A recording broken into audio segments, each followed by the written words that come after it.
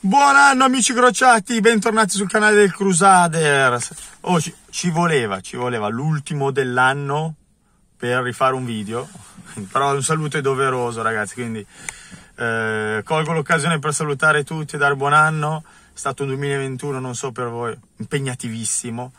Eh, di che cazzo mi frega, io sono venuto a vedere questo video per un altro motivo. Effettivamente, parliamo, parliamo del motivo per cui stiamo facendo questo video eh, prima del 2022. C'è un solo obiettivo per questo Parma, secondo me, per... Io vi do tutte le motivazioni possibili per cui bisogna prendere questo giocatore. Poi voi mi dite la vostra nei commenti, mi scrivete, mi mettete prima un like, iscrivete o, o viceversa e poi potete mettere il commento, eh, mi raccomando, perché Giovinco dovrebbe tornare a Parma. Allora, le motivazioni sono tante, poi ormai è sulla bocca di tutti, credo a livello nazionale, internazionale, che il suo ritorno deve essere Parma, perché il giocatore ha parlato con uh, Gigi Buffon, suo grande amico, ex compagno, e quindi già questo sicuramente avranno parlato e la voglia e il desiderio di voler giocare insieme a Gigi Buffon e raggiungere l'obiettivo secondo me è una di quelle cose che un calciatore non potrebbe più che desiderare all'età di 34 anni, secondo me più per soldi, ormai va per eh, obiettivi, per dargli quella, quella, grinta, quella voglia in più no? di continuare, dargli nuovi stimoli e questo secondo me è già un punto a favore per il Parma. L'altro, l'altro punto a favore è chiaramente la disponibilità quindi che ha dato il ragazzo per tornare a Parma perché comunque si è trovato bene, un bell'ambiente e, e per il Parma un motivo in più prenderlo, no? per cui uno che conosce già eh, l'ambiente, qualche compagno, quindi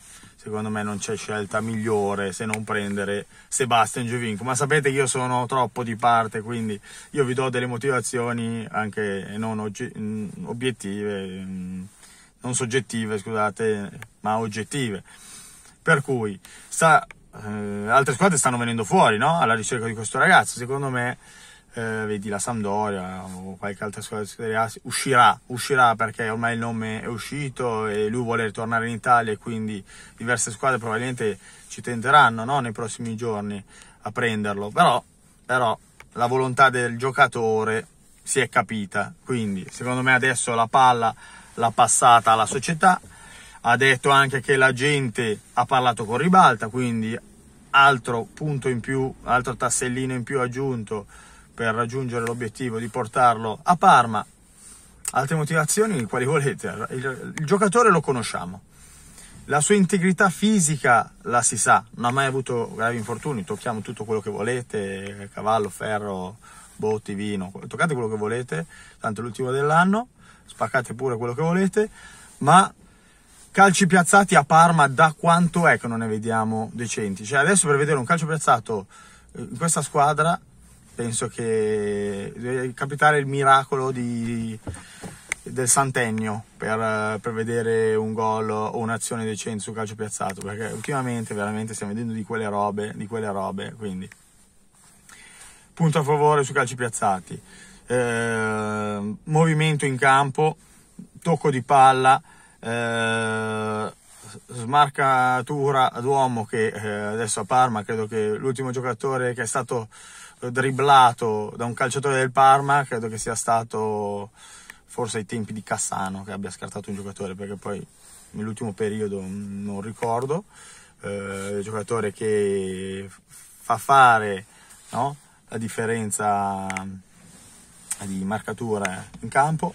E quindi tendenzialmente è solo lui l'obiettivo principale da poter prendere, non si può sbagliare, attendiamo con fiducia la società, la risposta. Iachini, che poi mi dicono Iachini vuole Farias. Ragazzi, Iachini vuole, Iachini vuole giocatori forti, non vuole scommesse, vuole raggiungere l'obiettivo e se vuoi raggiungere l'obiettivo devi prendere gente così, gente capace, esperta e che conosce il calcio italiano e che conosce come si muove la sinfonia Parma. Quindi noi l'abbiamo già visto, l'abbiamo già apprezzato a Parma, quindi tutti lo conosciamo. Secondo me è un giocatore che può farti altri tre anni a buoni e alti livelli in Italia, in Italia, almeno altri tre anni, quindi secondo me non si può sbagliare. L'altra cosa in più, l'altra cosa in più, l'altra motivazione in più che ha il giocatore perché tornare in Italia, comunque ricordo, ricordo che c'è sempre un mondiale in Qatar a breve, quindi il ragazzo secondo me come Gigi Buffon potrebbe, perché no, un domani poi pensare a rientro in nazionale, non è che lì davanti abbiamo eh, Messi, Ronaldo, no? Quindi chi lo sa, chi lo sa. Io ho detto la mia, eh. Avevo detto la mia su Buffon, ve la ricordate? Potete andare a riprendere il video. Io Buffon avevo richiesto il suo ritorno due anni fa, è arrivato in due anni di ritardo. Giovinco, anche lui lo cito ormai da tempo, in memore. Eh, quindi io ho detto la mia. Di solito ci azzecco. Vediamo, eh. A presto ragazzi, ci vediamo nel nuovo anno. Attenzione, ci sarà una puntata caldissima su Parma Game Pass prima dell'inizio del campionato. Vedremo chi ci sarà. Un abbraccio caloroso a tutti. Forza Parma, sempre.